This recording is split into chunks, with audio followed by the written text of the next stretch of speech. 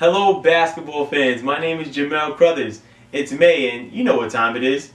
Oh, you didn't know? It's the WNBA season. The WNBA season is about to start in a couple of weeks. Right now, we're in preseason, so it's only fair that I do a season preview. So, let's get started with the Atlanta Dream.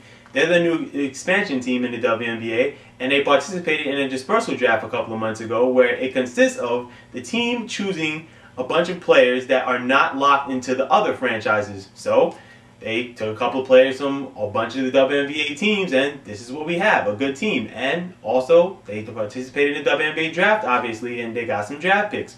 So, to start off things, they did get some good size in Chantelle Anderson, which is a good 6'6 center from the San Antonio Silver Stars. She's had some share of knacks and injuries along her way in her career with her knee, but she should be able to stay healthy and give them some good size down low this year.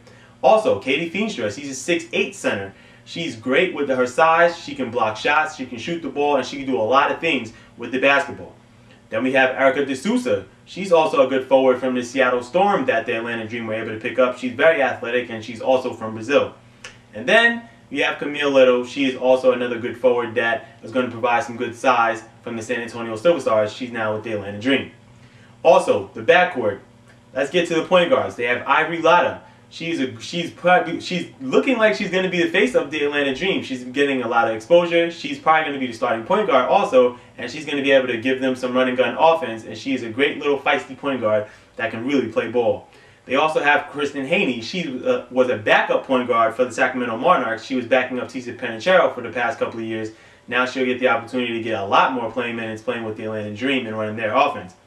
Also, they also have Betty Lennox. She is the oldest player on the team. She's a great shooting guard. She's an eight-year pro. She's been been through the trenches. She's going to bring she's going to bring that uh, leadership to the Atlanta Dream, and hopefully she will be able to provide a scoring spark also for the team. In the draft, they got Tamara Young from James Madison University. She's a combo. She's a guard and she's also a forward. She's probably going to be playing a little shooting guard. She's probably going to be also playing a little small forward, and they may even throw at power forward also. She is a great lethal scorer, and she's going to bring a lot to the table for the team.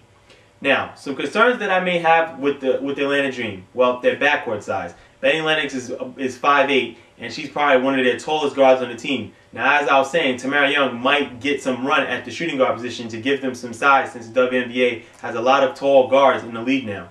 Their leadership. Their leadership is going to be a concern because the team is very young they're going to have to get that team chemistry going, and that's going to be a concern for this team, even though they're new to the league. But obviously, a new team, it's going to take some time. It's just great that the Atlanta fans finally have a team there. And obviously, they're going to hit some bumps in the road because they're a new team. Obviously, as I said, there are a lot of new players that are trying to mesh together. There are some rookies, there are some veterans. Some some players are used to certain roles. So obviously, the roles are going to change with this team and there's going to be a lot of bumps on the road with a good with a good good team, but the team chemistry is going to have to get going. So that's my report on the Atlanta Dream. Great way to start the WNBA season, and congratulations to the Atlanta fans. You guys finally have a WNBA team.